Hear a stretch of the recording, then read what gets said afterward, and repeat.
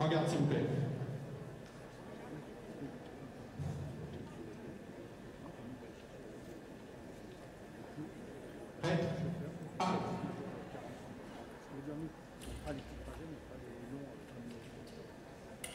Ah, s'attaque au fer de gauche. Non, voilà. En garde. Allez.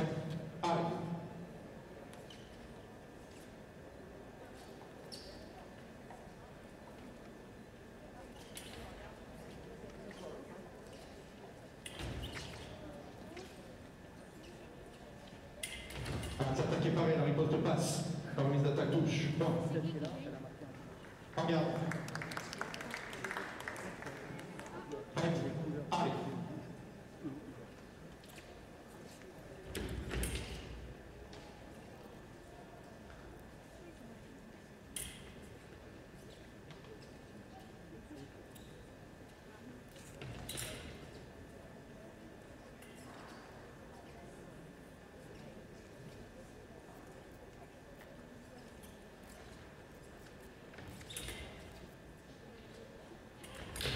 S'attaque de gauche. Non valable. En garde. Ah,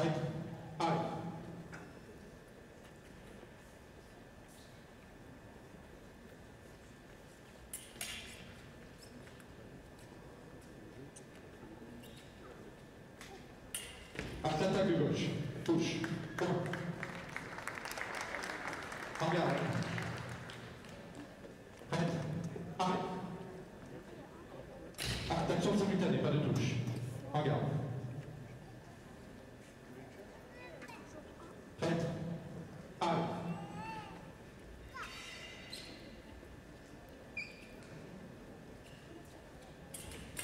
Ak sa to tvorí kost.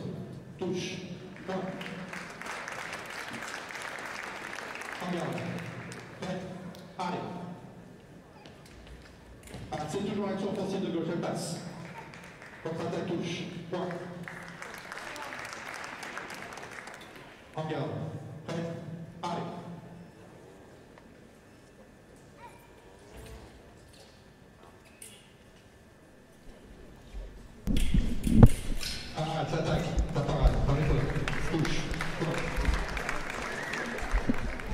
Allez, de retour ici à Saint-Maur pour les demi-finales de cette compétition de Coupe du Monde de fleuret féminin avec deux Italiennes, Alice Volpi à gauche et Francesca Palumbo à droite.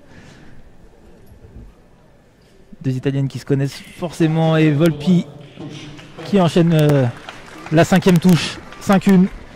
Volpi qui a été vainqueur ici de cette compétition. Et j'ai oublié de vous représenter avec moi Cédric Nkene. Bonjour à tous. Volpi qui a déjà pris le large dans ce début de match. Ouais, Volpi qui, qui a été solide quand même sur la journée, hein, sur, euh, sur ces matchs. On a pu voir euh, un petit peu au loin qui a tiré euh, deux fois sur des compatriotes aussi, avec Battini auparavant. Là, Palumbo.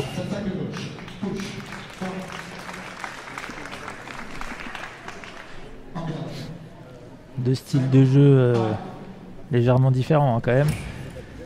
Volpi plutôt dans l'offensive quand même de base. Palumbo plutôt défensive.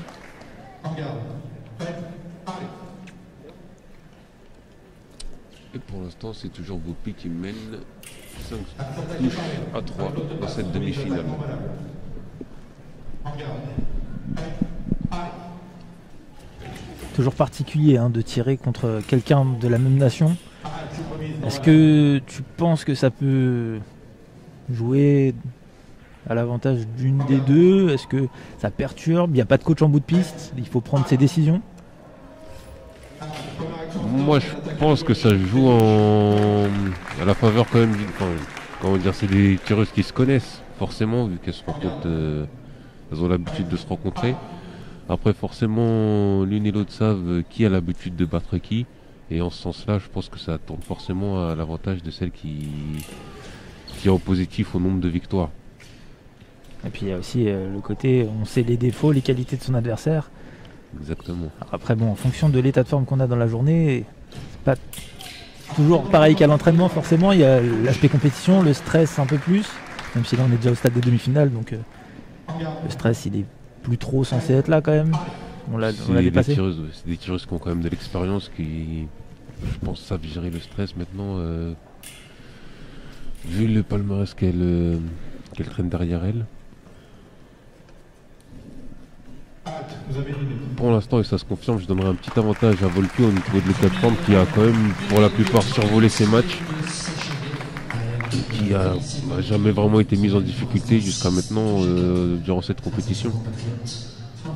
Ouais, Alice Volpi euh, qui avait battu la française Alice Recher au premier tour de cette compétition sur le score de 15-8. Elle a ensuite. euh, Alors attendez, je vais juste le temps de retrouver le tableau.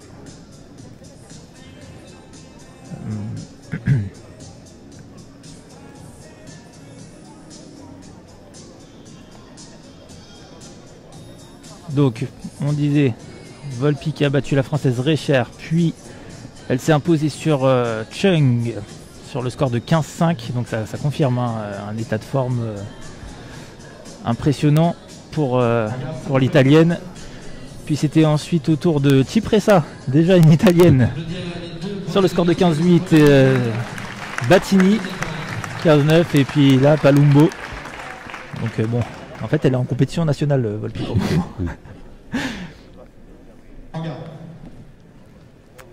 Palumbo, euh, quant à elle, s'est imposée en tableau de 16 face à Ueno, la japonaise. Et puis la russe en quart de finale, Tripapina sur le score de 15-10. Halte, sa dernière reprise de droite. Touche. Euh, puis on voit vraiment qu'elle rate pas grand chose aujourd'hui, En que ce soit au corps à corps, que ce soit dans ses actions offensives ou défensives. Au final, bah, ça allume quoi. Impressionnant et ça allume de la bonne couleur, comme on dit. Voilà, forcément, hein, faut toujours contredire le, la personne qui commente. Elle rate forcément son action.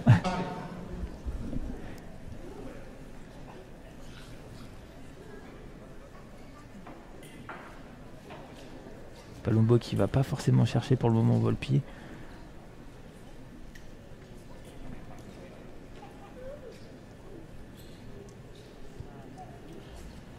On se jauge un peu au milieu de piste pour préparer une action. On a vu que c'était pas loin de déclencher une attaque. Finalement, Volpi qui décide aussi de temporiser. Et on voit la parade riposte encore euh, dans le bon temps.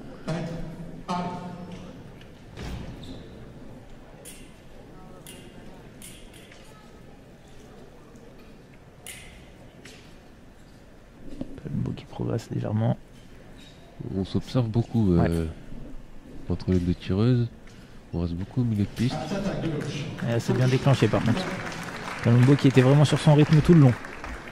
Lent lent, au moment où la main bougeait, elle a pu déclencher son action. Et donc recoller à 7-6. Une touche de retard pour la gauchère. Et la parade.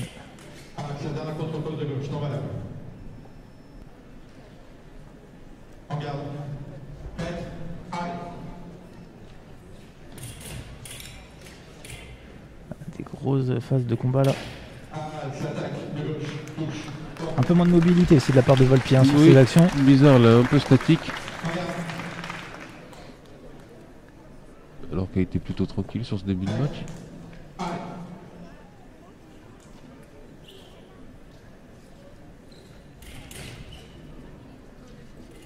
Halte, s'attaque est pareil. La riposte est non valable.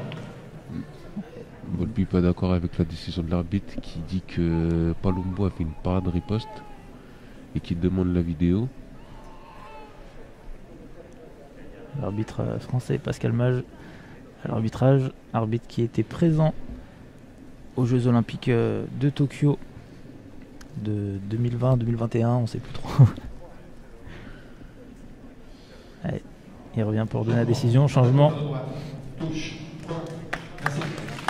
Et très sportivement, Palumbo qui, après la vidéo, annonce qu'elle était bien touchée. Oui. L'attaque encore donnée à Alicia Volpi.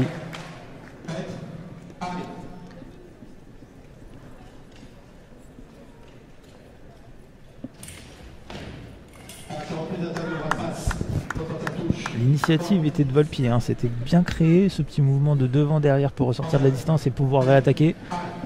Et sur le final d'action, elle n'arrive pas à assez bien. euh, Elle cherche un final d'action assez compliqué, une espèce de prime Ouais. euh, en carte et peut-être euh, se concentrer sur des choses plus simples. c'est une action qu'elle aime bien faire. Elle aime bien justement tourner cette main pour soit l'envoyer dans le dos, soit venir faire mes cartes. Palumbo qui enchaîne un peu les, les mauvais choix. En garde. Et Volpi qui a décidé de mettre un peu plus de rythme également.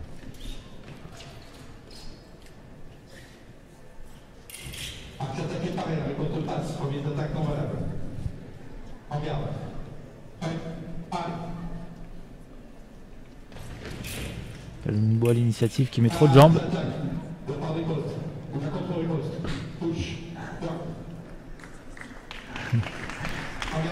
Palumbo qui s'excuse. Pensait euh, à une mauvaise interprétation de l'arbitre, mais il avait même pas fini sa phrase d'arme, donc finalement, bah, elle s'est rendu compte qu'elle s'était trompée en. C'était assez bien fait en plus euh, cette contre-poste de sa part. Bah, Celle-là aussi. Hein. Très très bien fait. Elle vient enrober le fer là pour euh, ensuite finir sur une belle fente. Voilà, justement, voilà. cette attaque dont on parlait tout à l'heure, avec la main qui termine euh, En prime pour venir finir au ventre. Ok, ça s'emballe. Apparemment, on réfléchit plus, on lâche les chevaux, on enchaîne les touches, Et le. Le round d'observation est terminé. C'est bon, on, on y va vraiment. Allez, c'est parti. On enlève même le bras et ça fait 13-11 pour Volpi. En garde.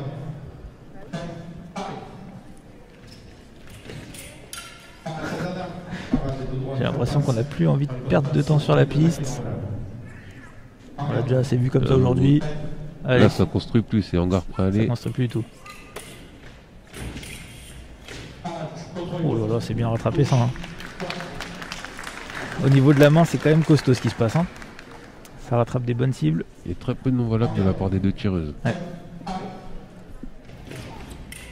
Oh lolo Qu'est-ce que c'est que ça? Bon. Euh, je pourrais pas commenter cette euh, action, je pense.